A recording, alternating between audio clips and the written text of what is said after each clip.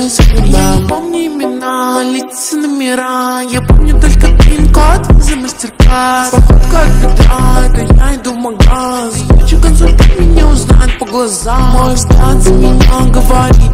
Я потрачу все, а потом сделаю репит. Мой муж за меня разрушит